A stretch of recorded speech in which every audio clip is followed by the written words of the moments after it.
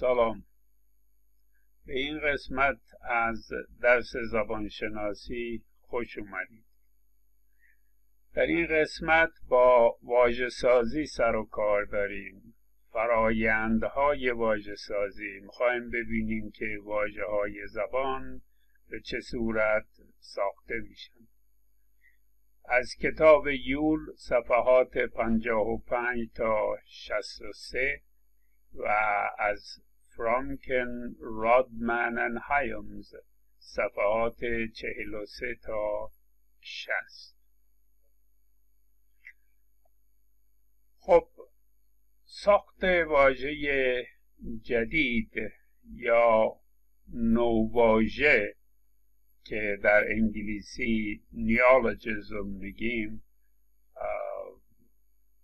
هر واژه جدیدی که وارد زبان میشه به عنوان نوواژه می‌تونیم بشناسیم. یا گاهی نوواژه ممکن است استفاده از واجه های قدیمی در معنی جدید باشد.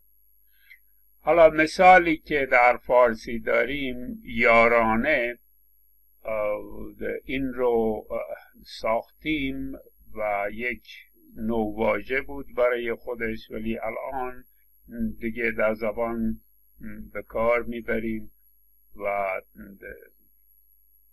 ممکنه کهنه حالا شده باشه.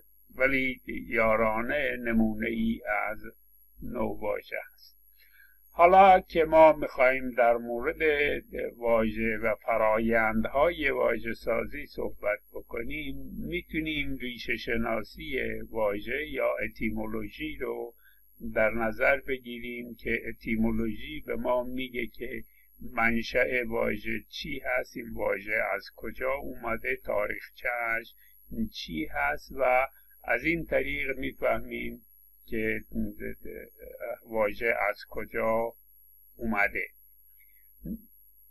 راه های مختلفی هست برای وارد کردن واجه های جدید در زبان. حالا این راه ها رو میخواییم بررسی بکنیم. یکی از اینها وامگیری هست.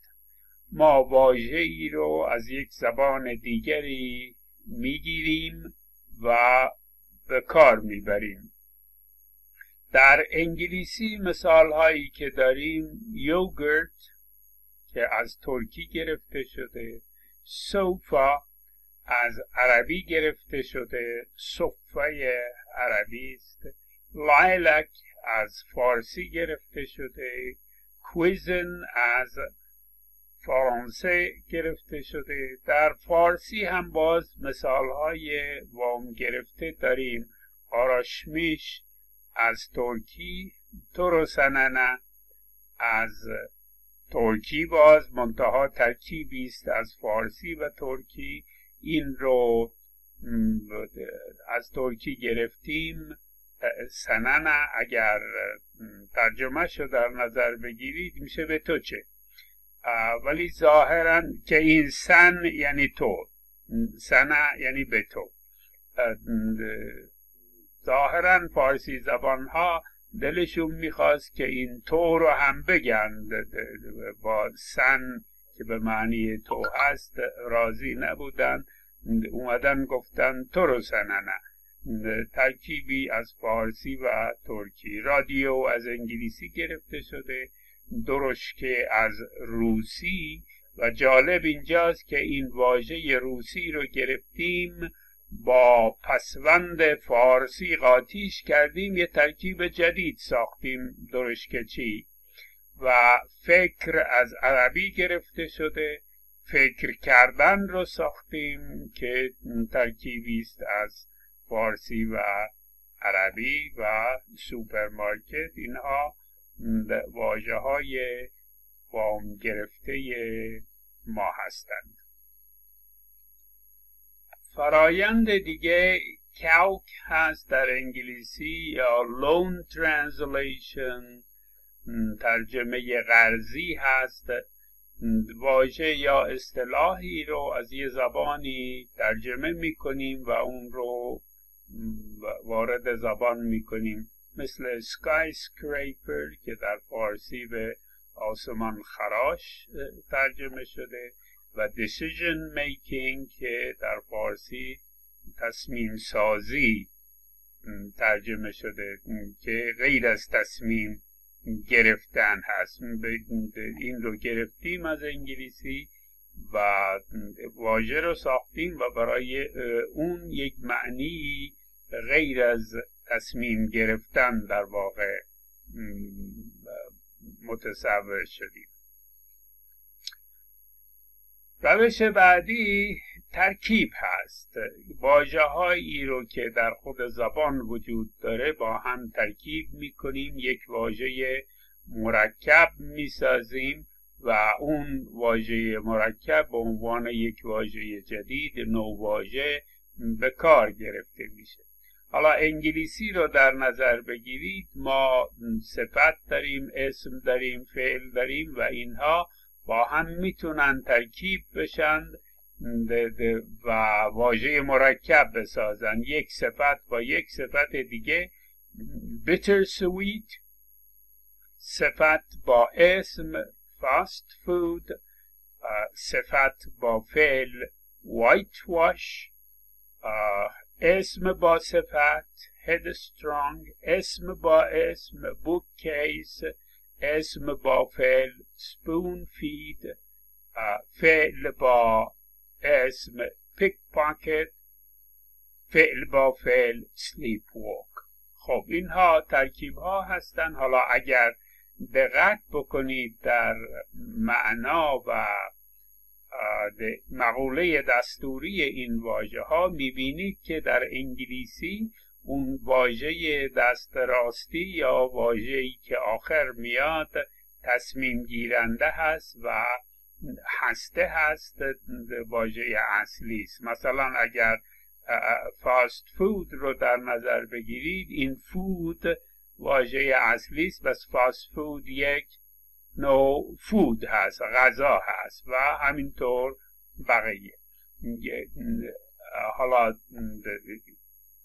کتابم میگه the rightmost word in a compound is the ahead در یک ترکیب واجهی که سمت راست هست هسته هست واژه اصلی ترکیب هست.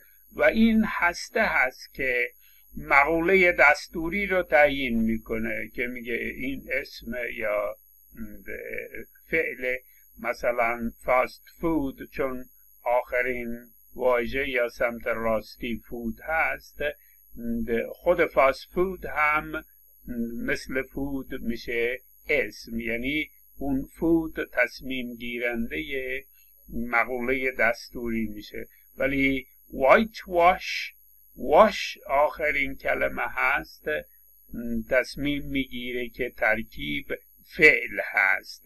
پس اون هسته یا واژه سمت راستی هست که مقوله دستوری رو تعیین می‌کنه و معنا رو مشخص می‌کنه. ولی اگر در ترکیب ما حرف اضافه داشته باشیم این یه خورده فرق می‌کنه. مثلا سانداون درست آخرش حرف اضافه هست ولی کل ترکیب به صورت یک اسم به کار برده میشه به معنی غروب. و پاسربای هم باز آخرش حرف اضافه هست سمت راستی حرف اضافه ولی در اصل اسم هست. پاسر اینجا هد میشه. حالا در انگلیسی می‌خوایم ببینیم که چجوری تشخیص میدیم که واژه مرکب داریم. آیا شیوه نگارش به ما کمک می‌کنه. جواب اینه که نه spelling is not a determining factor. حالا این مثال ها واجه های مرکب رو در نظر بگیرید. Blackbird به صورت یک واژه نوشته شده دو تا واژه با همن goat tail هایفن داره و سموک سکرین به صورت دو واژه جدا نوشته شده ولی باز مرکب هست. این هم معنی smoke screen هست. Something that you say or do to hide your real plans or uh, actions. حالا اینجا هم این بلک برد رو اگه در نظر بگیرید این تصویرها بلک برد هست. لزوما معنی ترکیب ترکیب معانی اون دو واژه نخواهد بود. بلک برد حتما نباید بلک باشه. در این تصویر می‌بینید که بلک نیست ولی در اینجا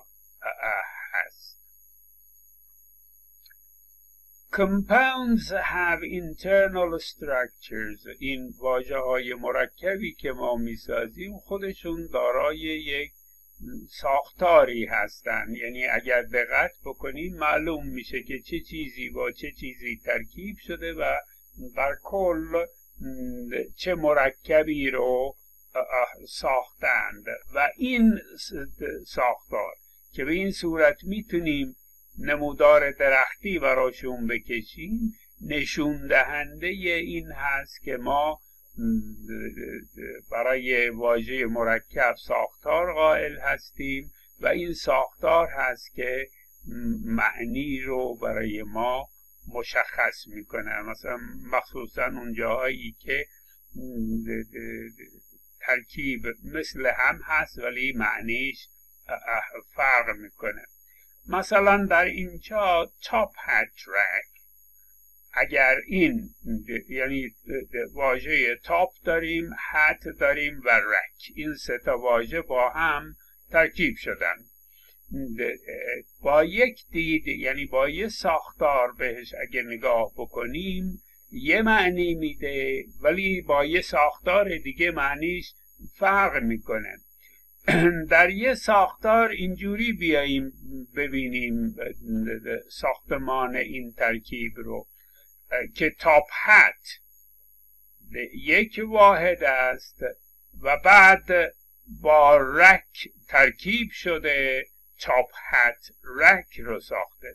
به این صورت اگه در نظر بگیریم top hat این کلاه هست این نوع کلاه رو بهش میگن top hat حالا اگر ما رخت‌آویزی داشته باشیم مخصوص این نوع کلاه اون میشه top hat rack و ساختارش به صورت نمودار درختی اینجوری نشون داده میشه که اول تاپ یک صفت هست با هت که اسم هست ترکیب شده یک اسم مرکب ساخته شده. یعنی این ناونی که اینجا داریم تاپ هت یک اسم مرکب است. حالا این اسم با یه اسم دیگه تاپ هت با رک ترکیب شده یک اسم مرکب بزرگتر رو ساخته. این ساختار معنی رو هم برای ما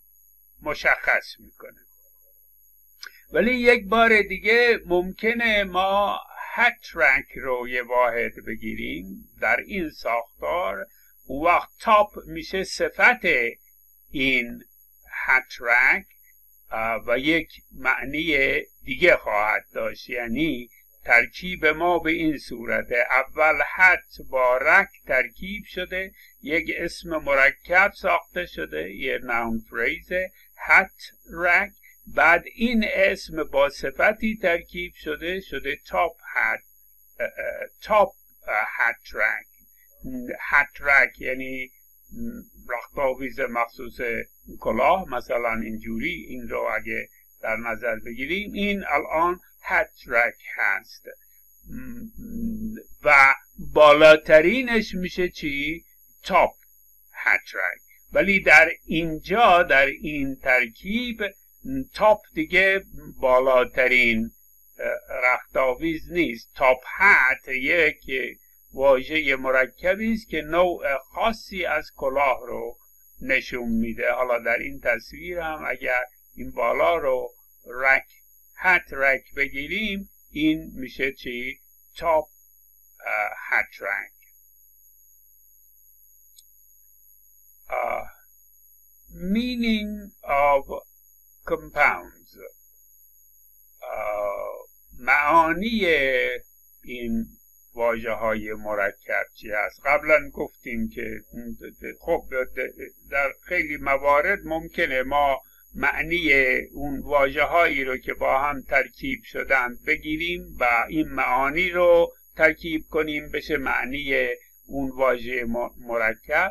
ولی در بعضی موارد اینجوری نیست. معنی واژه مرکب از جمع معانی واجه های تشکیل دهنده ساخته نمیشه.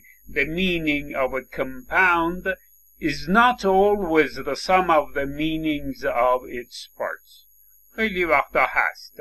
یعنی قسمت معانی قسمت ها رو با هم جمع کنیم بشه معنی اون واژه مرکب. ولی همیشه اینجوری نیست.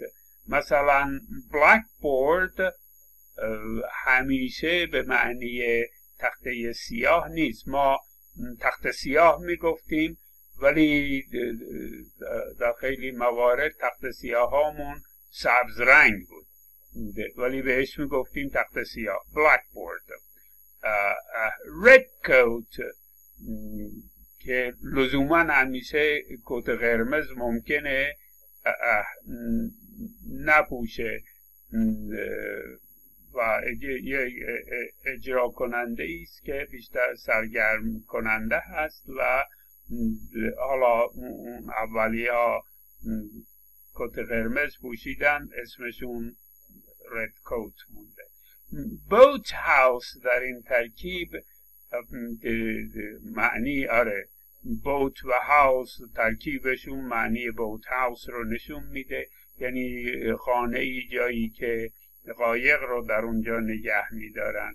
ولی کت هاوس خانه ای نیست که در اونجا گربه نگهداری میشه. حالا معنی این ترکیب رو خودتون نگاه بکنید. من نمی‌خوام بگم واژه خیلی جالبی نیست از تبوهای ما هست. falling star magnifying glass در اینجا می‌بینید که این ing در واقع به صورت یک مادیفایر برای اسم به کار رفته و اون رو توصیف می‌کنه. پس falling star میشه ستاره ای که میفته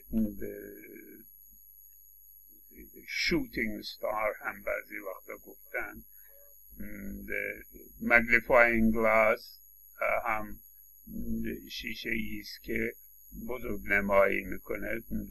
ذره بین ولی looking glass مثل falling star یا magnifying glass نیست. Looking glass is not a glass that looks اصلا کاملا فرق می‌کنه looking glass یعنی آینه و eating apple is not an apple that eats. سیبی که میشه خوردش سیب خوراکی هست قابل خوردن پینات آیل روغن بادام زمینی آلیو آیل روغن زیتون اینا به کار می‌بریم. روغن زیتون می‌دونیم. آره از زیتون ما روغن می‌گیریم. ولی بیبی اویل روغنی نیست که از بچه می‌گیریم. روغن بچه روغن مثل روغن زیتون نیست که از زیتون ما روغن رو می‌گیریم. حالا اینجا روغن بچه بگیم از بچه این روغن رو می‌گیریم. نه روغنی که مخصوص بچه هست می‌بینید ترکیب فرق می‌کنه. حالا اینها در فارسی هم مثل هم میشن. روغن زیتون روغن بچه. bigwig turncoat highbrow egghead اینها هم می‌بینید معانیشون اینجا نوشته شده.